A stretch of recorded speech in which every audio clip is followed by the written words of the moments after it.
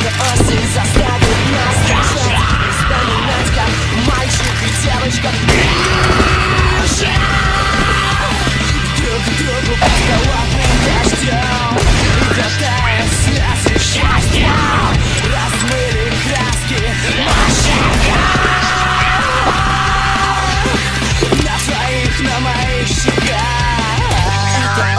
Заставит нас дрожать И вспоминать, как мальчик и девочка